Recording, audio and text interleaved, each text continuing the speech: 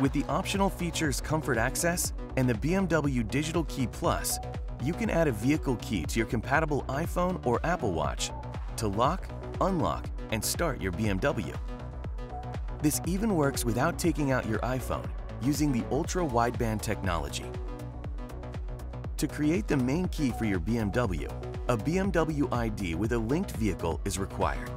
Complete the setup before pressing the Start-Stop button while in standby state. You need to have both physical keys with you inside the vehicle. Ensure you are logged into your My BMW app.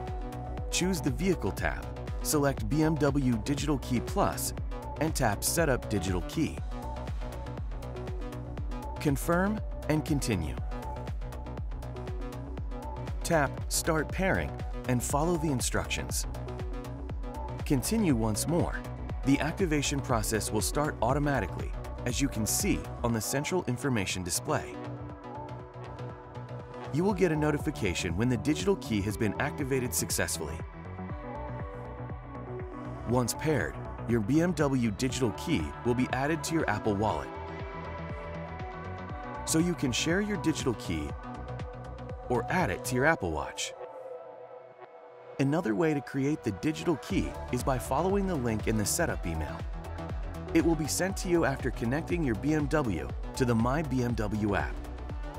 Simply tap the link to begin the setup of the main key. Follow the steps on your iPhone and on the central information display to activate the digital key.